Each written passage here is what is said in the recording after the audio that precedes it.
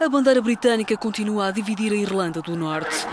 Os tumultos voltaram a eclodir em Belfast pela quinta noite consecutiva. Três agentes ficaram feridos e oito pessoas foram detidas.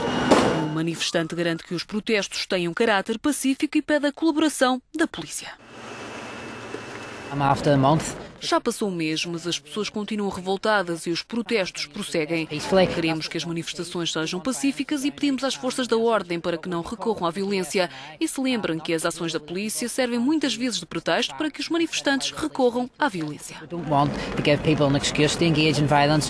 O chefe da polícia admite que existem manifestantes pacíficos, mas lembra que muitos agentes estão a ser atacados por jovens menores de idade.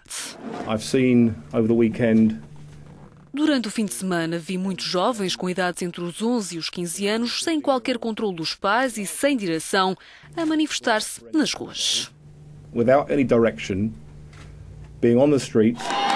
Na origem dos confrontos está a decisão do Conselho Municipal de reduzir de 365 para 17 o número de dias em que a bandeira britânica vai ficar hasteada.